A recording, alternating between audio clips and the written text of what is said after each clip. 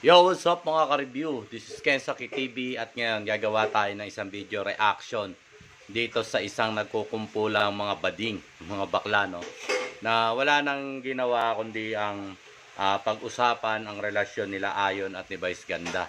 Parang hindi yata magandang ah, ah, chikahan to ah, mga ka-review. Kasi ang napansin ko is ah, pinupunan nila no, ang pagmamahalang Ayon at Vice Ganda. And pinuna rin dito na yun nga, dilawan nga raw si Vice Ganda mga ka-review. So, samahan nyo ako at panoorin natin at bigyan natin ng reaction kung ano ba dapat ang reaction dito sa video na napanood ko sa TikTok. So, tara.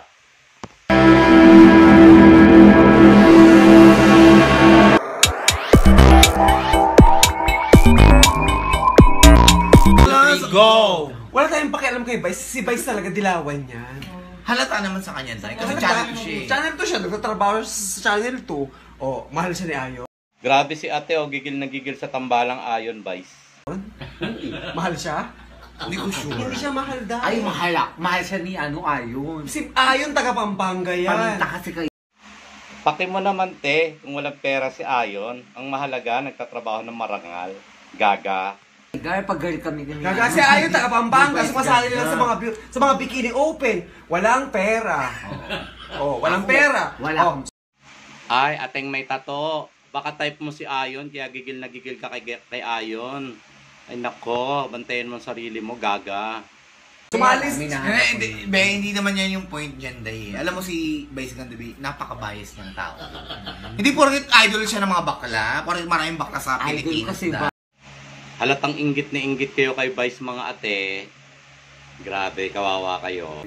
Ay, Ay, ano ah, kasi takot ka. Takot ako matsuro to. Gaga hindi. Takot si Ayon ka. talaga. Takot Si Ayon ka. talaga. Bikini open lang yung contesta. Selos ba te? Gusto mo ikaw mahalin ni Ayon? Gaga. Nakilala lang siya ni Vice dahil sa ano siya, Showtime. May pera siya? Wala! Meron. Bakla, ginagamit lang niya si Vice ganda. O may pera. Sure ka ba sa info mo, ate? Baka naman mademanda ka niyan. Kapag sasabi mong ginagamit lang ni Ayon si Vice Ganda, gaga, pag-isipan mo yan. Kasi may, para, may pera si Ayon? Meron. Wala tayo Wala siyang ginagamit pera, si- gaga. Wala siyang Wala siyang pera. Wala siyang ni Ayon si Vice Ganda, mga ka-review. Ang, ang sakit isipin na masyado nilang pinapakialaman yung relasyon ng ibang tao kaysa dun sa mga sarili nilang karelasyon nila, mga ka-review. And ano ba naman talaga ang pakialam nila, no? Kung nagmamahalan yung dalawa. May pera man o wala, at least nakikita natin na nagmamahalan yung dalawa, no? At wala rin naman silang pakialam kung si Vice Ganda magbibigay ng yaman kay Ayon, ginusto niya yon at relasyon nila yon natural lang nagagawin ni Vice Ganda yun kasi mahal na mahal niya yun. Ewan ko dito sa mga nagkukumpulan mga bading na to at kung ano ang pumasok sa isipan at tinitira dito si Vice Ganda mga ka-review. And ang napansin ko lang siguro ah marketing strategy nila to para dumami yung kanilang followers sa TikTok mga ka-review no. And besides, uso naman ngayon yan eh, nadidikit ka sa sikat na pangalan para makilala ka rin sa larangan ng gentong klasing ah, video. 'Di ba parang ang pangit mga ka-review no? Mas maiging bantayan mo na lang yung sarili mong bakod bago mo bantayan yung bakod ng ibang tao. Kasi may hirap naman yung puna ka ng puna tapos ikaw pala hindi naman pala maganda ang background mo. So, ano pat pumuna ka pa ng iba kung sarili mo naman hindi mo naka, hindi mo kayang ayusin at linisin. 'Di ba mga ka-review? So, 'yon, mga ka-review napanood ko rin yung sagot dito ni Vice Ganda na doon sa mga bading na tumitira sa kanya na mga ka-review. Panoorin din natin yung sagot niya. Other people's judgment about me is no longer my problem. That's their problem, not mine.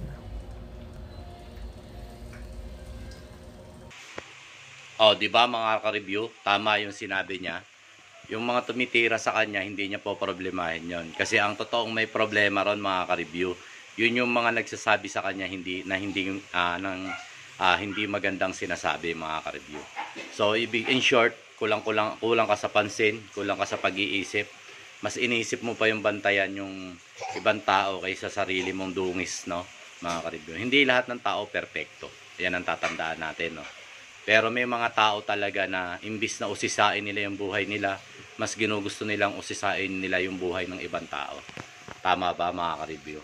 So, ang pangit lang tignan na may mga ganitong tao na handang mapani, ah, manira o mapan, ah, makasira ng mga ah, ah, ano ng ibang tao, buhay ng ibang tao, mga ka-review. And ano ano nga ba? Ano bang ang pakialam nila kung walang pera si Ayon, mga ka-review, 'di ba?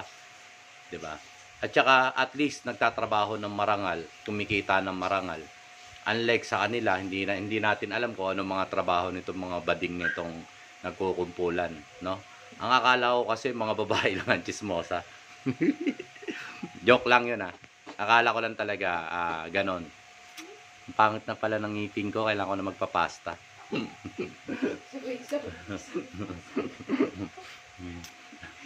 Huwag nyo napansinin ha. Hmm? So, ayun mga ka-review, no? Ah, yun lang ang masasabi ko dito sa kumakalat na video, no? About kay Vice at kay Ayon. No? Bago nyo punahin yung ibang tao, punahin nyo muna yung sarili nyong bakuran. Kasi, hindi nyo nga kayang gawin yung ginagawa ni Vice Ganda kay Ayon, eh. Di ba? So, pakita nyo rin na kaya nyo o karapat dapat man kayong mahalin ng mga lalaki. Di ba? At saka nakikita nyo naman na mahal na mahal talaga ni Ayon si Vice Ganda. So, yun lang ang masasabi ko dun sa ah, video issue na ito, mga ka-review, no?